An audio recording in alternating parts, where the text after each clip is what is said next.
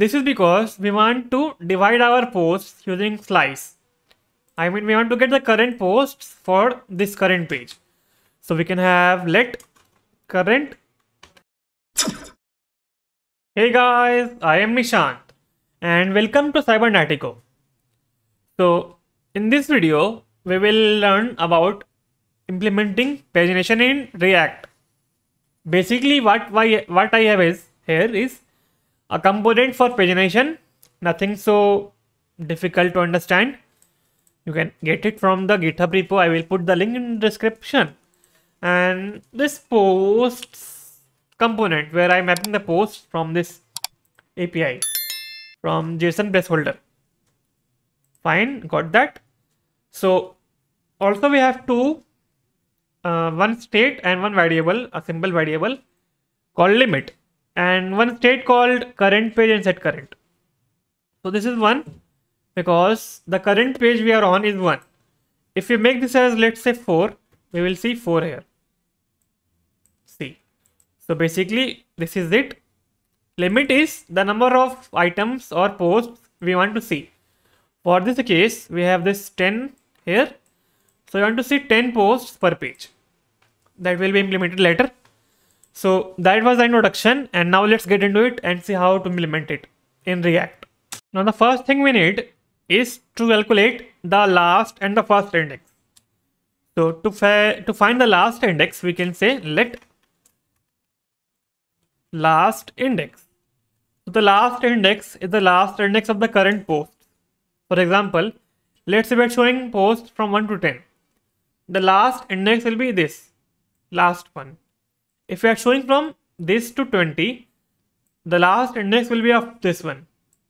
So calculate it using this formula and which is the page number which we are on. So current page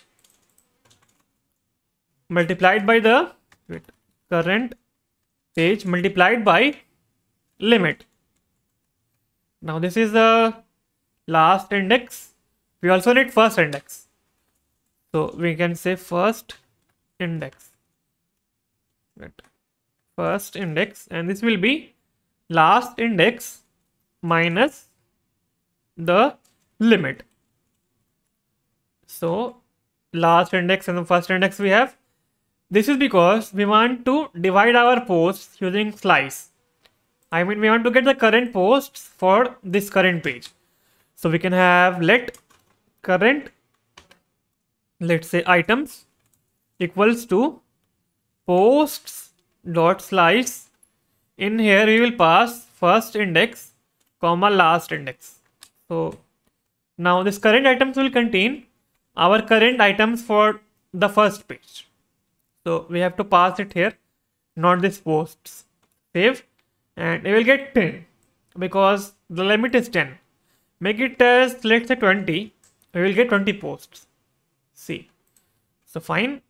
You can also manipulate it or just create one drop down to change the number of items per page. But we have to make this a state then not a simple let variable. Fine. So we have now the current items. Now come over to this component called pagination.jsx and I have changed this CSS some some CSS here to fit to, into this page and in this component we have this props like items count per page total items count page range displayed. So item count per page is 10 so basically we can pass it here. The limit in this page pagination component. So pass it like this this limit. Fine. Now come here and let me destructure limit from this props. And we can make this as 10 items count per page. Because now we will get 10 posts per page but I don't think we need this because we already have this implemented here like this. Fine. Now we have this another prop which is page range displayed. So basically let's make it 20 or 15 or let's make it 5 so if you make it 5, we will see only 5 pages. So this means this can be our limit. So the limit is 10. Wait a second. No, this is the limit of posts. So we have to have this current index, sorry, current items. So we need the number of pages. So let's say the number of pages we need to calculate here. So for example, okay, we need to calculate the number of pages. Then what can we do is we can get the limit here, which is 10 and the posts dot length. So post or let's say let's say total posts posts equal to we need to add posts dot length so posts dot length is 100 and this will be now 100 and limit is 10 then I will divide 100 by 10 to get 10 pages. Per so we will get 10 pages yes. 10 pages 10 posts per page total will be 100 posts. So just come to this pagination component and let me get them from here. So we are getting the limit already. We need to get total posts like this now let's calculate. So let pages equals to uh, total post divided by this limit. Now pass it here in the pages. Sorry pass pages in the page range displayed. Here. Save and now you'll get 10 so we can alter it. For example let's say you want to have five pages or five posts per page we can make it five. Now you see the page number will increase because now we have 20 it means we have five posts per page and we have 100 posts. So 5 into 100 sorry 5 into 20 20 pages. Now it's 100 so revert it back to 10 now we have this. So we have 10 posts and 100 on 10 pages like this. So this is the total items count. So we can pass the total posts here and let's see nothing will change. So it's redundant. We can remove it because okay we don't need to remove it. Let's just pass it here. Refresh and this will work just fine. So this was this pagination. Now let's change the pages and change the posts as, as well. There is one thing to notice here. Let's say we have this one here in the current page. Change it to let's say 5.